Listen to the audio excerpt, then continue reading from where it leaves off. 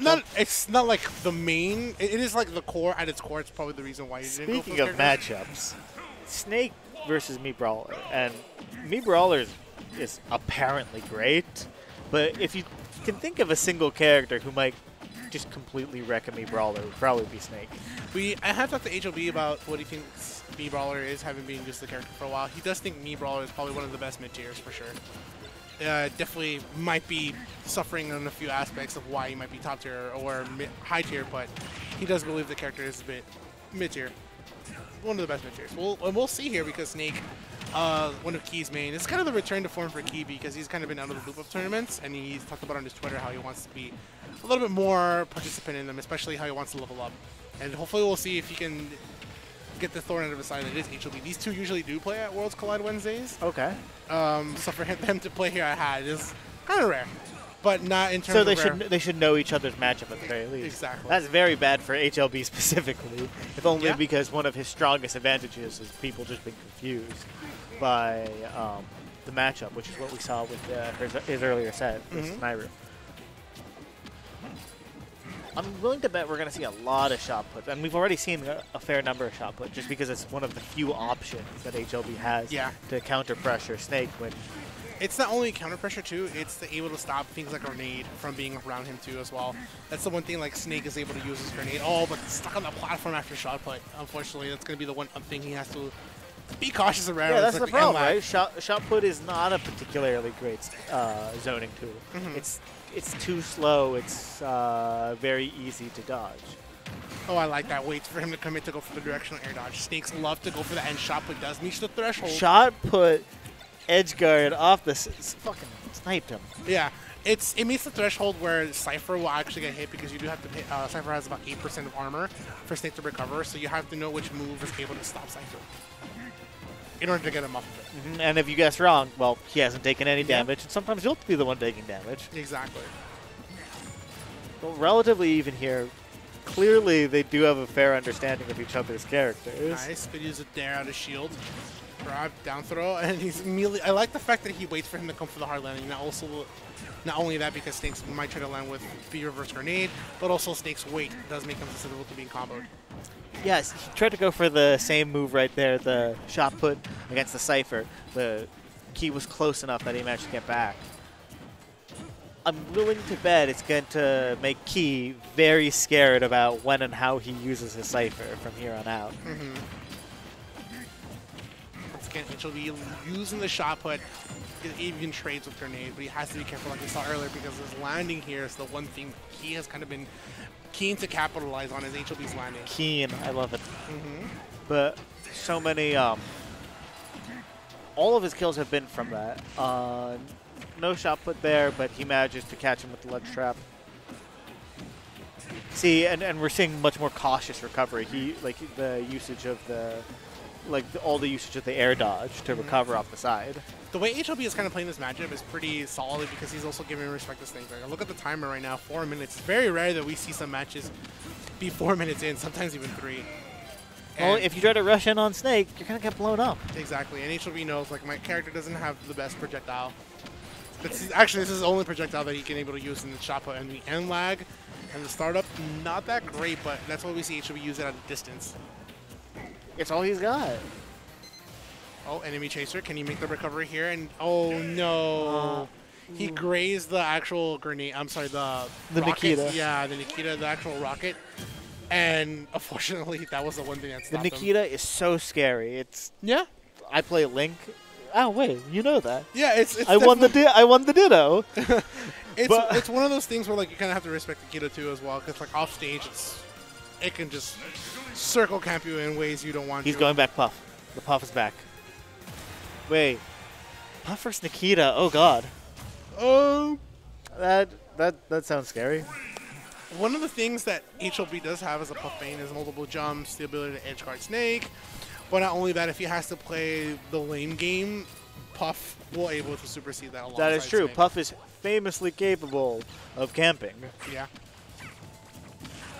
But also that, like, once Puff has you off the stage with her, with her, she's being one of the best uh, characters to be in the air.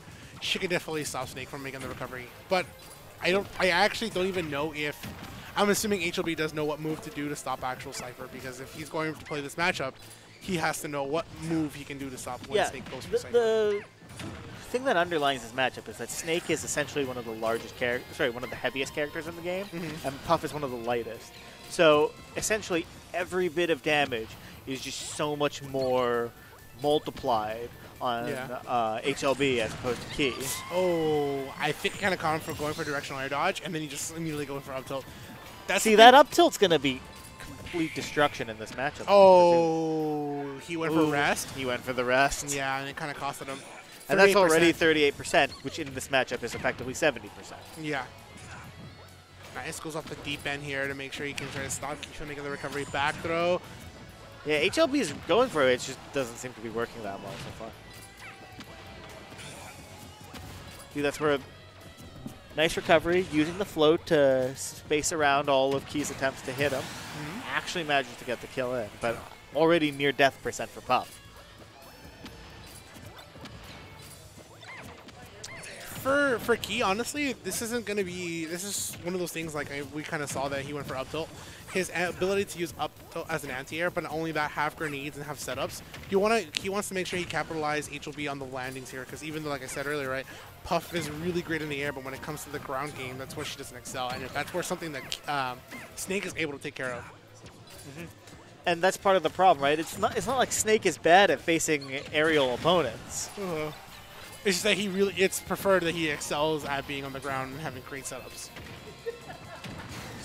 Once again, up tilt. I, something tells me that if Ki takes this game, it's going to be with another up tilt. Yeah. Oh, he does not have a grenade or a C4 set up to cover. You know, Snake can recover from a lot, but he can't recover from that. Yeah. Snake, one of the best recoveries in the game. Not enough to survive that. Yeah. Usually we do see some Snake mains have a setup with C4 or grenade to be able to recover, and then um, stage deck. And So then this go for means another that we're actually on last stock at the same time. HLB is in a bad position, but he could theoretically take this, Yeah. especially oh, if he gets an edge did so much damage on the shield too, especially with a grenade in Ki's hand. It wasn't enough though, and I'm it's sure that Ki was able to get the punish. Yeah. Now HLB has to figure out how to get back on stage and stay there.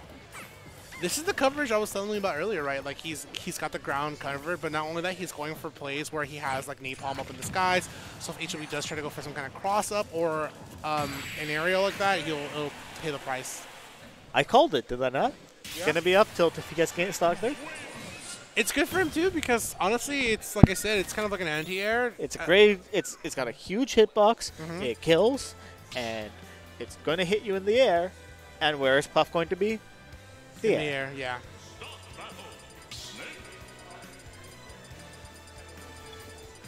All right, well, this is game. Uh, pretty much at this point, like he has won two Pokemon games. I would be surprised because I've never seen HLB go Pokemon Trainer, but hey, man, sometimes He, he- you- you're, you're throwing darts at the board, Mhm. you're seeing what sticks at this point. yeah. Still, makes enough sense. Pokemon Trainer's a good character and has a lot of options against Snake, right? If you're Ivysaur, you can counter zone him. If you're Squirtle, you could break his zone. If you're Charizard, you can survive his hits at uh, percentages that most characters can't. Yeah. And it's already working out a lot better.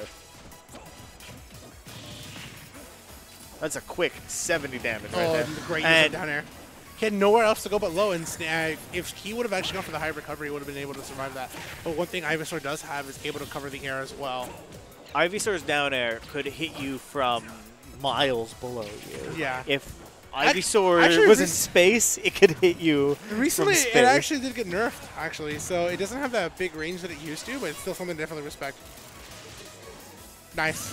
Uh, it's kind of like the when you see Ness and, or Lucas go for PK Thunder, like if the tail hits you, it'll stop you from recovering. The same kind of, roughly the same kind of idea with the effect of Nikita from Snake. Yeah, see, Nikita is probably the best edge guarding tool in the game, Mhm. and even the threat of Nikita is enough to kill you sometimes, like Yeah. you saw there. What a setup from such a far range from to able to keep him occupied with grenades, and at that point, HOB was going for a Rage Relief. Mm-hmm, Wasn't aware of the C4. Spacing game. He is starting to take this one. Not only that, uh, Snake does really excel Pokemon Stadium. That's true. He has the platform they Mm-hmm. can use to set up the his C4s, and he oh, and whatever grenade traps he has as well. The Ivysaur's starting to come up there in percent. That Charizard switch was not surprising. Nice, good tech chase, and the down smash to boot immediately. I like the fact that he even waited for the get up attack. That's that. That's the threat, right, from the from Snake's down throw, is that the minute he does it, it the race is on. Can yeah. you get out of his grasp, or is he going to get you? And picking the right option from those from from that option too as well. If Snake does have you from the throw. Oh, he tried to get away, but he couldn't. And I talked about it earlier. That's why I kind of saw Keith go for that low recovery. I, that's why I respected it, right? Because Ivysaur does have that range. Ivysaur can get high- you from anywhere. Yeah, the high recovery. You know, Snake should be used to facing snipers, but I don't know if he's ever fought one like uh, Ivysaur.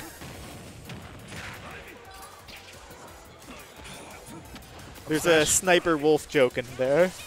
I, I was gonna say like eh, I, I don't know if people I, I would hope so that people have played enough Metal Gear, but hey, There it is. HLB is gonna have Squirtle cannot survive an up tilt.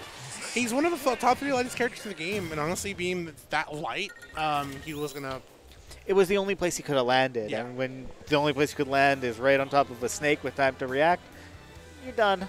yeah.